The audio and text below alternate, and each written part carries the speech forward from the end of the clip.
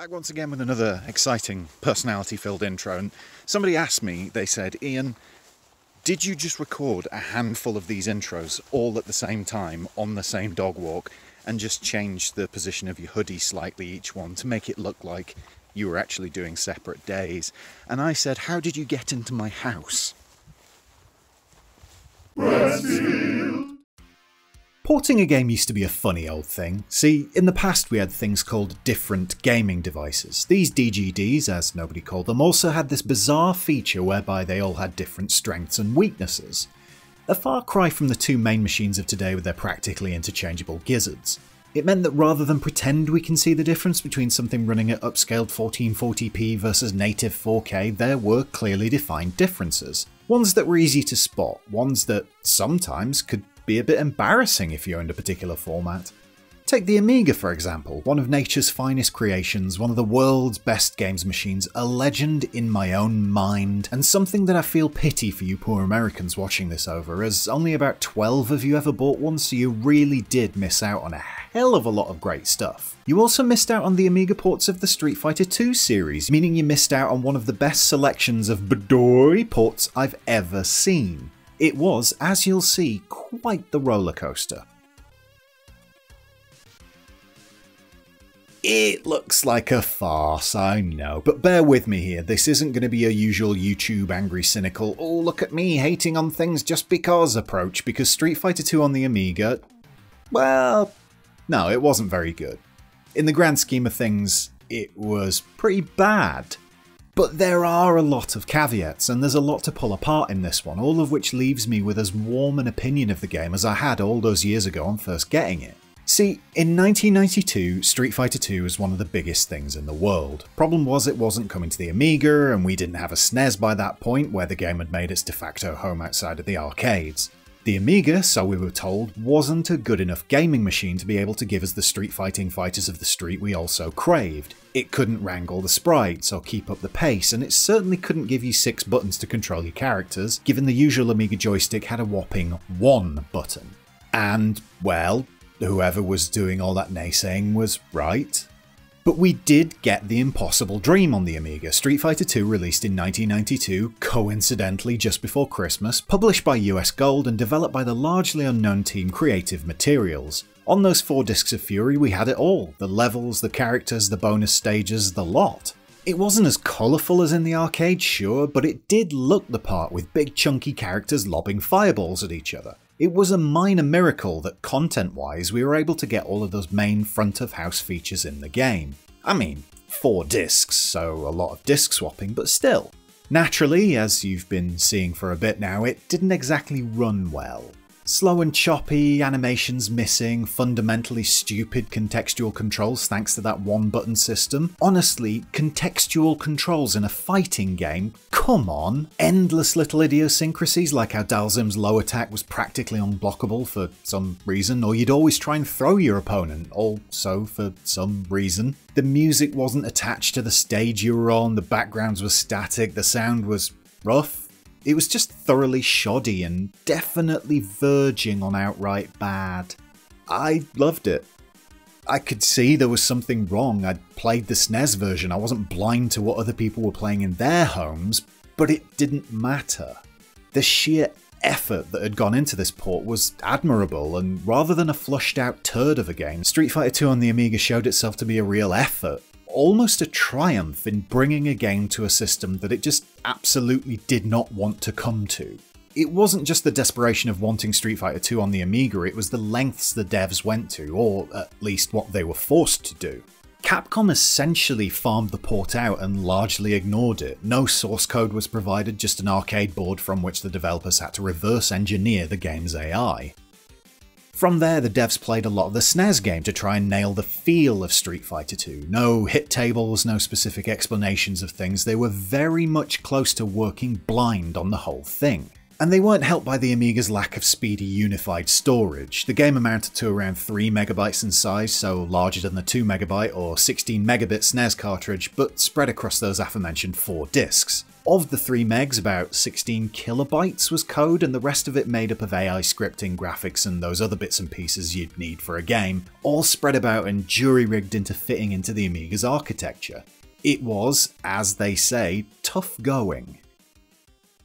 Amiga magazines of the time were near universal in their praise of Street Fighter II, the best fighting game on the platform, as close to the arcade as we're ever likely to get, the usual nonsense the press churns out. Amiga Power remained cool on it, but even they scored it surprisingly high at 74%. The weeks, months, and years that followed saw the likes of Body Blows and Shadow Fighter come out though, and with each re release review of Street Fighter 2, its score dropped more and more as the journalists realised that actually we'd all been sold a bit of a pup. The hysteria suitably drowned out, thoughts moved on to other things. After all, there was no chance Super Street Fighter 2 would come to the Amiga, and if it did, it would obviously be awful. Yep, it looks even worse.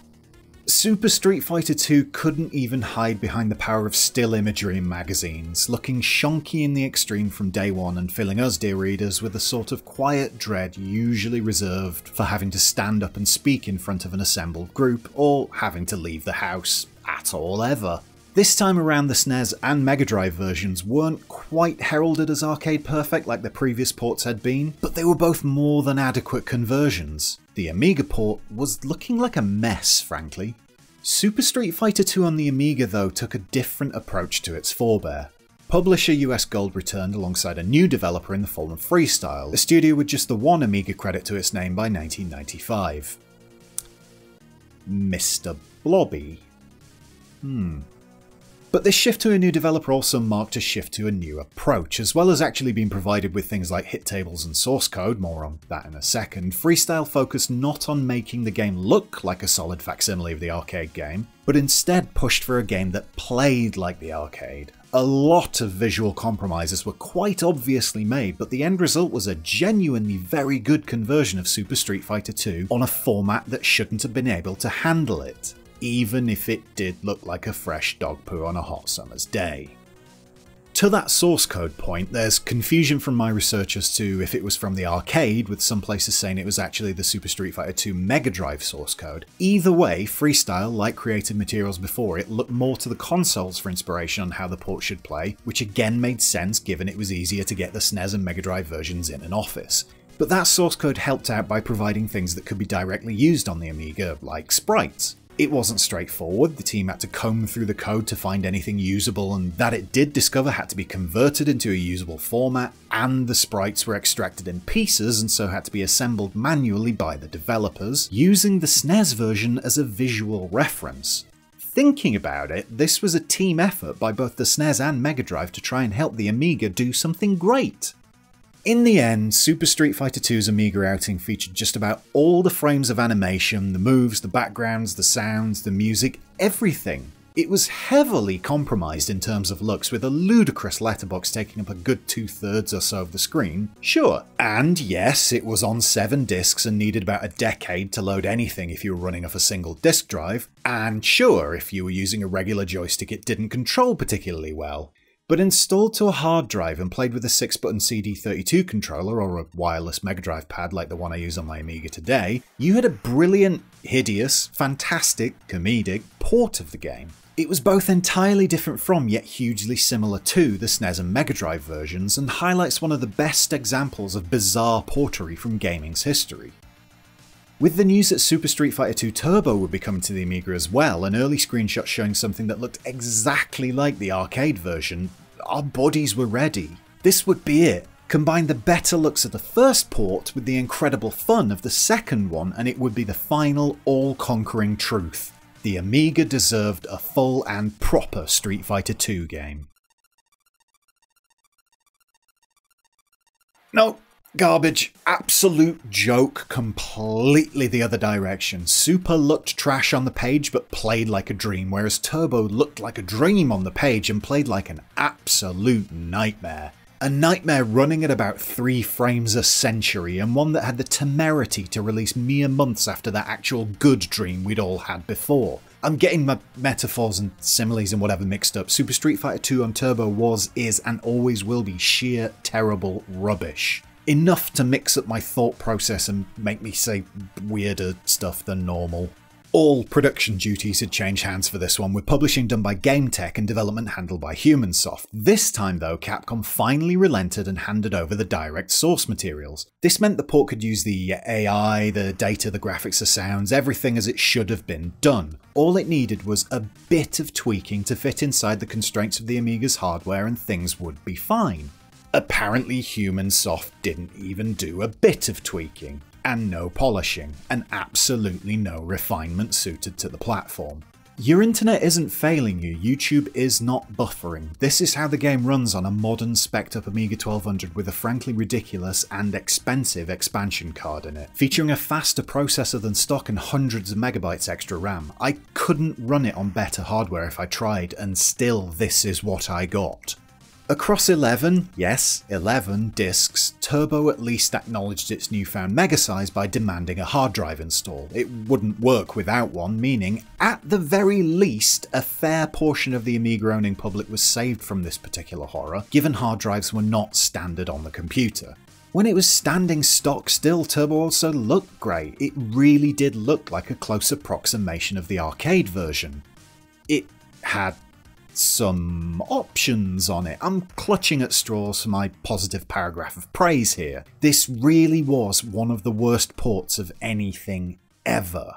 Just listen to the criticism levelled at the game by CU Amiga magazine in its review. With no chance for me to iron out the jerky animation, coupled with the lack of music during fights and the periodically poor collision detection, what we are left with is a fighting game with excellent graphics that fails to give me the fluidity of feel present in Mortal Kombat 3 or Shadow Fighters a shocking indictment of the game, and it's no surprise the score at the end of that harsh critical take came in so low at just 80, 83%.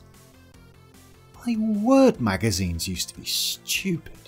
Awful magazines from the past aside, Turbo would release to little fanfare, be ignored, and largely forgotten a fair few Amiga owning chums from back in the day don't even know the machine got a turbo port, and really I think I'm doing them and you a disservice by pointing it out if you weren't already aware. As well as it running like your tummy following a visit to Barry's Bargain Curry Vault, the game also had one of my favourite features of anything ever. See, Super Street Fighter 2 Turbo added in super moves, those high powered combos that could be used to hit your opponent for big damage or finish them off in spectacular fashion. They were in the Amiga version, as they should have been, except the game had a wonderfully quaint way of either glitching out when the super move was activated or outright crashing the entire game an actual selling point for the entire game, a point of difference between it and the previous Street Fighter II games, and it literally broke the game to use it. I thought I had a dodgy WHDLoad install on my A1200, I